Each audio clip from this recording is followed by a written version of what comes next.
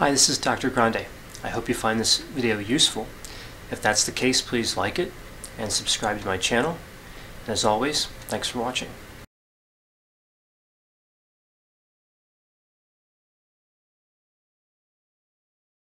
Hello, Aspen. How you doing today? I'm doing well, thank you. How about yourself? I'm doing all right. Thanks for asking. I had met you last time for our first session, and we talked a little bit about kind of your circumstances, what brought you here. And I was hoping today we could get into trying to really figure out uh, how we can help you. Um, any thoughts on your, your current situation? Anything change? Nothing's really changed. Um, I mean, I'm, I'm amazing at my job. My boss just really is, the, is someone that I hold, you know, in, in higher regards Mm-hmm. than others I work with, especially.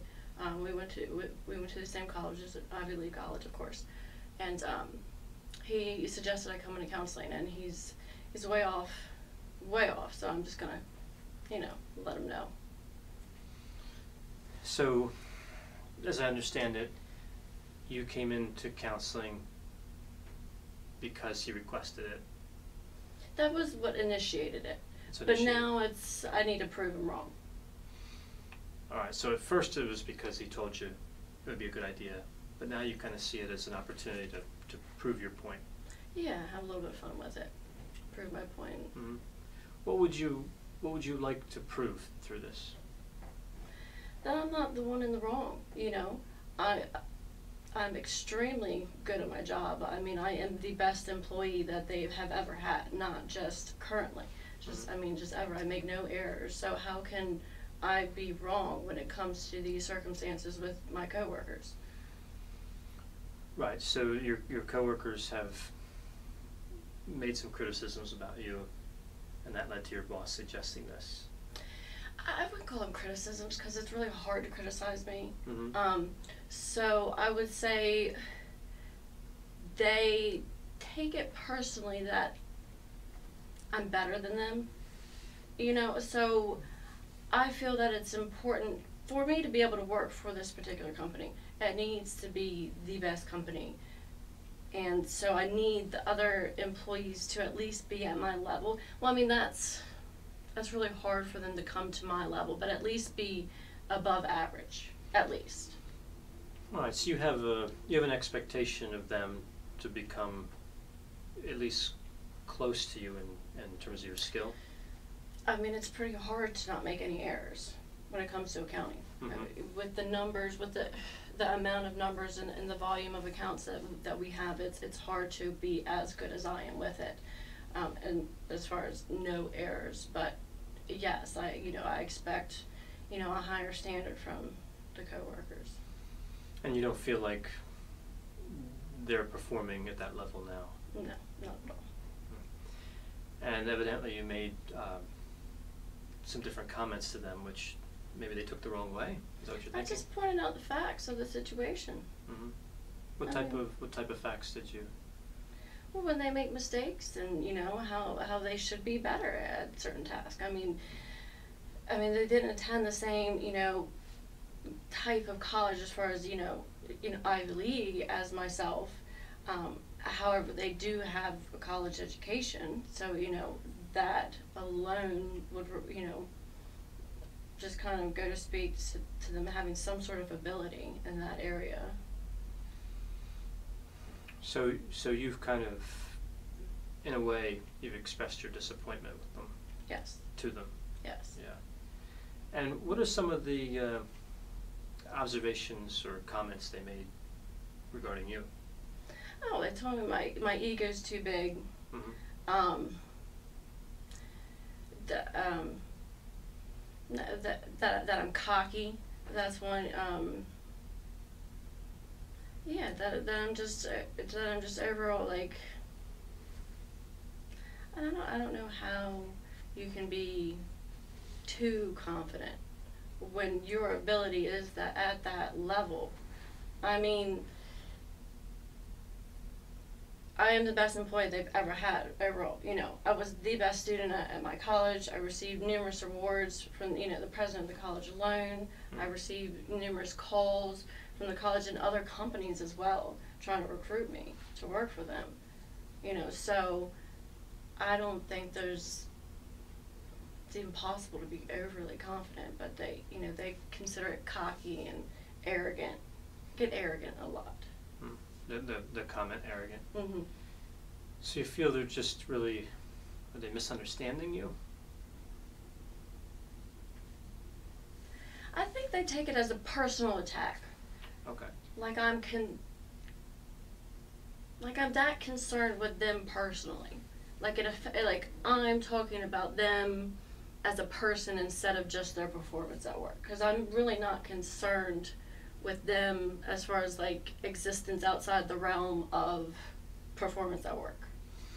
All right. So your commentary to them has nothing to do with their value as a person, more as with their performance as an employee. Right. And you feel they're misconstruing your your observations about their performance. Very much so. Yeah, they're taking it personally. taking it personally and, and trying to trying as best they can to push it back on me as I'm the one in the wrong, but I'm obviously not. All right. So you're you're not wrong in this, and you're frustrated by their reactions. I mean, I'm okay with it, you know? I mean, it's I don't really take anything they say to heart because they're not at the level to really be able to criticize me. You know, I can take criticism, you know, from constructive criticism from someone who would, you know, be at my level or above. Mhm. Um, however, they are not. So it's really not. It, it really doesn't affect me. It it does interfere with my job as far as my employer is concerned. Right. Uh, that's what led to you. That's what led to him recommending you come in here initially. Yes. Right. So you don't feel that they're at a level where they can really criticize you. It doesn't really bother you if they have criticism in the first place. But you can appreciate how getting along with them would be better for you as an employee. I I mean it, I mean overall I like this company. hmm You know, I like working for it. I I've been friends with my boss for I mean we went to the same college, you know, um, so we have that in common. You know, he is an extraordinary person as far as his abilities. You know, I would say as in the level around as myself. So, you know, I hold his, you know, opinion, you know, in, in some sort of regards above the others. So, Okay, so to the to the extent that they communicate negative sentiment to him about you, that that affects you. yes, Okay. yes. And so, so what do you think, if anything, what, what do you think needs to be fixed here?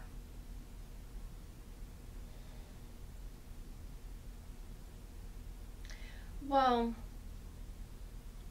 I think it's on their area, on uh, you know, on their side. It, they didn't take what I said the wrong way. Okay, so if, if they had accurately in, interpreted your, your comments, that would fix the problem. Yes. Do you think that's realistic? If they worked at it, possibly. How long have you worked there?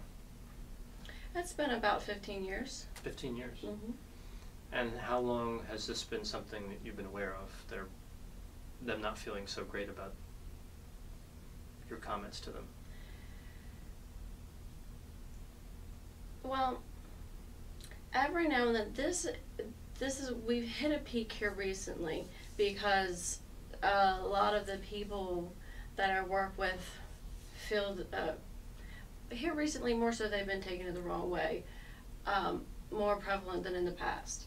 In the past, they would you know I'd hear you know certain comments, but I understood you know comments just directed at me, and I just understood that you know it was just you know envious because I was able to give them. I was at a level where I was able to critique their work. Um, so it wasn't it never got to a point where I had someone like my boss say anything to me. So this is really the first time um, that it's gotten to that point. Alright, so you've noticed things like this in the past, hmm but now it's become more urgent to address it.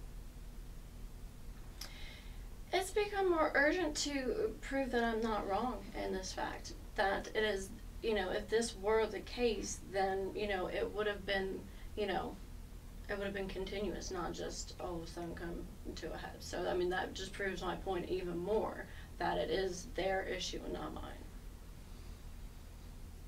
Alright, so if you could, if you could um, somehow prove that they're in the wrong, would, would that help you? I mean, it's kind of, to me, it's obvious they are in the wrong because the, the numbers speak for themselves. It's the fact of the matter. Um, so if,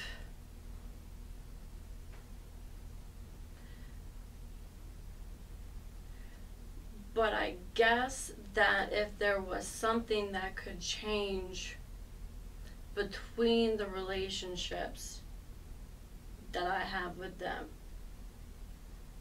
then at least would be a little bit better of a flow. So maybe we could get up to the level, you know, that this company is de- deserving of. Okay, so so there's like there's like two there's two things operating. There's your desire for them to improve and make the company better, and then their discontent with with uh, your comments to them. So you'd like the company to improve, and you feel that means that you need to be able to voice your opinion to them in, a, in an honest way. Mm-hmm. Um, but everybody needs to get along too, and that's, at least to some extent, and that's not happening because they're upset. Right. Yeah. So is there, do you think there's any steps you could take that could reduce the tension in those relationships? I need to figure out a way to present the information at a level that they would understand. So drop it down to their level, but also kind of sugarcoat it so they're not, you know, taking it the wrong way. Alright, so you need to, to deliver the same message in a more polite, less threatening package.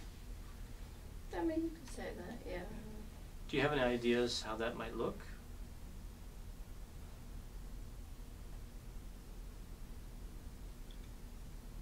Um, I mean, I could start with not comparing their work to mine because that's just unfair. I mean, at no point in time are they ever going to reach that that level of, of quality Mm. with their work. So that could be a place to start.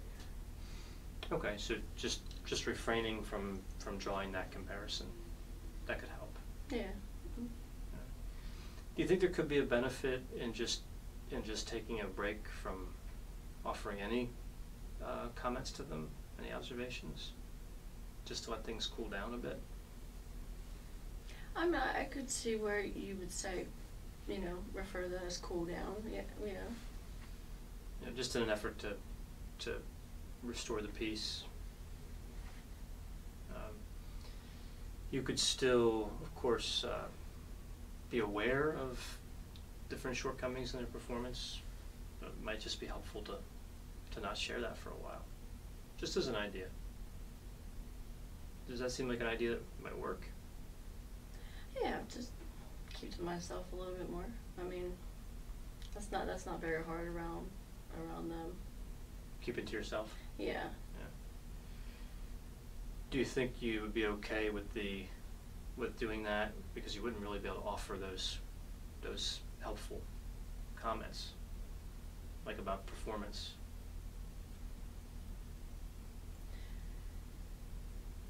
I mean, if well, really, it would in fact prove my my point behind it all. hmm It would prove that I was right, that it's not me, that it is them taking it the wrong way. You know, Because in, in fact, if if it was, you know, if it wasn't them taking it the wrong way, then I would just say that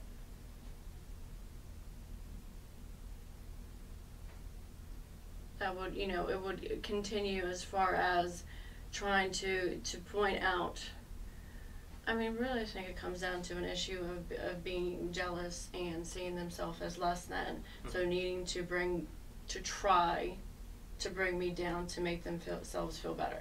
So if they don't have that to do that it would prove my point behind this whole thing. Yes, you feel like they're just trying to, they're just trying to tear you down to make up for their own inadequacy. oh definitely I mean yeah And by you just not um, kind of offering those observations, you're you're taking you're taking the wind out of their sails. Right, and then it's not, it's only a matter of time before someone else notices that without me pointing it out to them. Right. So your kind of commitment to quality will still be honored because somebody else will will see that. Oh yeah, there's no way that that could go unnoticed. Yeah. So that'll that'll take care of kind of both sides of this. Your concerns about quality would still be addressed, and you might be able to um, get more peace in that work environment Mm-hmm. And I would prove that I was right all along. and, and proving your, your point. Yeah. Which you mentioned was one of your reasons for for being okay with coming into counseling. Mm-hmm. So uh, when do you go back to work next? Here tomorrow. Tomorrow? Tomorrow morning. Mm-hmm. Uh, do you think this is a strategy that you can try out right away? Oh yeah. Yeah. I can handle it for sure.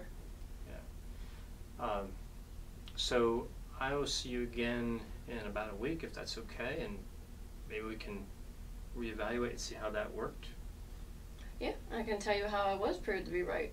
That yeah, yeah, that'd be fine. You could you could uh, tell me what happened, and um, I certainly hope for a good outcome in that. And if we need to make any adjustments from that point, we can talk about it then.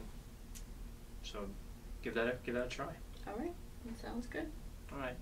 Well, thanks for coming in, Aspen. I will see you in a week. Sounds good. Thank you.